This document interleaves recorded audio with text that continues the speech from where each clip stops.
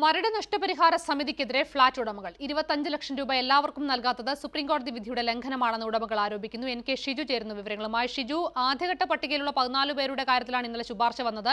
ഇപ്പോൾ എന്തുകൊണ്ടാണ് ഇവർ ഇങ്ങനെയൊരു ആരോപണം ഉന്നയിക്കുന്നത്?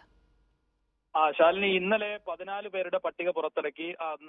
ഈ നഷ്ടപരിഹാര നിർണയ സമിതി വ്യക്തമാക്കിയ ഒരു കാര്യം ഇവർക്കെല്ലാം തന്നെ നഷ്ടപരിഹാരം നൽകുന്നത് ആദ്യ രജിസ്ട്രേഷൻ അതായത് രജിസ്ട്രേഷൻ വകുപ്പിൽ ബിൽഡറിൽ നിന്ന് ഓരോ ഫ്ളാറ്റ് ഉടമയും ആ ഫ്ളാറ്റുകൾ വാങ്ങിക്കുമ്പോൾ അതിന് രജിസ്ട്രേഷൻ വകുപ്പിൽ കാണിച്ച കെട്ടിടത്തിന്റെ വില എത്രയാണോ അതിന് ആനുപാതികമായ തുകയാണ് ഇപ്പോൾ പ്രാഥമികമായി നഷ്ടപരിഹാരം നൽകുന്നത്.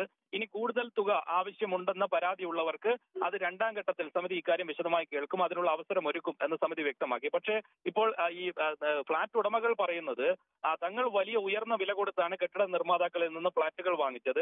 ഇപ്പോൾ പതിമൂന്ന് ലക്ഷവും പന്ത്രണ്ട് ലക്ഷവും നഷ്ടപരിഹാരം നൽകുമ്പോൾ അത് തങ്ങൾക്ക് നഷ്ടപ്പെട്ടതിന്റെ ഒരു ശതമാനം പോലും ആകുന്നില്ല. അതുകൊണ്ട് ഇക്കാര്യത്തിൽ സുപ്രീം കോടതി പറഞ്ഞിട്ടുള്ളത് എല്ലാവർക്കും ഇരുപത്തഞ്ച് ലക്ഷം രൂപ വെച്ച് നൽകാനും ഇക്കാര്യത്തിൽ അവരുടെ ഭാഗം വിശദമായി കേൾക്കാനുമാണ് നിർദ്ദേശിച്ചത്. എന്നാൽ സമിതി ഇത് സ്വന്തം നിലയിൽ ആ വിധിയെ മാറ്റുകയാണ് ചെയ്യുന്നത്. അതുകൊണ്ട് ഇക്കാര്യം സുപ്രീം കോടതിയുടെ ശ്രദ്ധയിൽ തന്നെ പെടുത്താനുള്ള തീരുമാനത്തിലാണ് ഫ്ളാറ്റ് ഉടമകൾ നിൽക്കുന്നത്. വരും ദിവസം അതായത് ഈ ഇരുപത്തഞ്ചിന് ഈ കാര്യങ്ങൾ സുപ്രീം കോടതിയിൽ ഒരു ഹർജിയായി തന്നെ കൊണ്ടുവരാൻ ഫ്ളാറ്റ് ഉടമകൾ ആലോചിക്കുന്നുണ്ട്. ഏതായാലും സമിതി വ്യക്തമാക്കുന്ന ഒരു കാര്യം രജിസ്ട്രേഷൻ വകുപ്പിൽ ഫ്ളാറ്റ് ഉടമകൾ ഫ്ളാറ്റ് രജിസ്റ്റർ ചെയ്യുമ്പോൾ കാണിച്ച തുക എത്രയാണ്? അതിനപ്പുറത്തേക്ക് താൽക്കാലികമായി നഷ്ടപരിഹാരം നൽകാൻ കഴിയില്ല.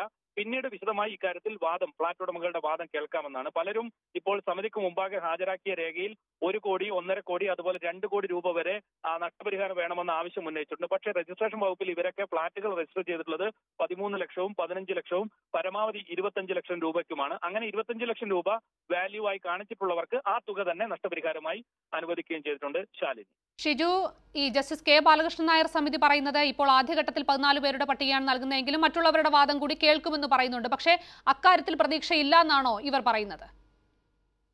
ഇവർ പറയുന്നതിന്റെ ഒരു കാര്യം ഇനി ഇതിൽ കൂടുതൽ തുക അനുവദിച്ച് കിട്ടാനുള്ള സാധ്യതയില്ല എന്നുള്ളതാണ്. കാരണം സമിതി പറയുന്നതിന്റെ ഒരു പ്രധാന കാരണം അതിൽ പറഞ്ഞിട്ടുള്ളത് രജിസ്ട്രേഷൻ വാല്യൂ എത്രയാണോ അതിന് ആനുപാതികമായ തുക മാത്രമാണ് നഷ്ടപരിഹാരം നൽകാൻ കഴിയുക എന്നൊരു നിലപാട് സമിതിക്കുണ്ട്.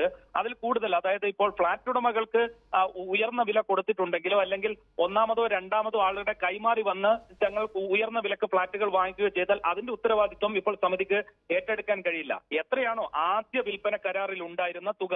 ആ വിൽപ്പന കരാറിന് ആനുപാതികമായ ഫെയർ വാല്യൂ ആണ് ഈ രജിസ്ട്രേഷൻ വകുപ്പിൽ കാണിച്ചിട്ടുള്ളതെങ്കിൽ ആ തുക മാത്രമേ അനുവദിക്കാൻ കഴിയൂ. ഞങ്ങൾ ഉയർന്ന വില ഈ ഫ്ളാറ്റ് ഉടമയ്ക്ക് നൽകിയിട്ടുണ്ടെങ്കിൽ ആ തുക നൽകാനുള്ള ബാധ്യത ഫ്ളാറ്റ് ഉടമകൾക്കാണ്.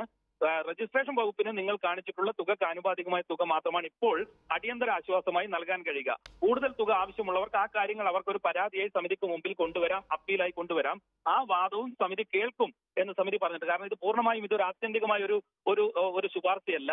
നിങ്ങൾക്ക് ഉയർന്ന നഷ്ടപരിഹാരം ആവശ്യമുണ്ടെന്ന ആവശ്യമുണ്ടെങ്കിൽ ആ കാര്യങ്ങൾ സമിതി അറിയിക്കൂ. സമിതിക്ക് അത് വിശദമായി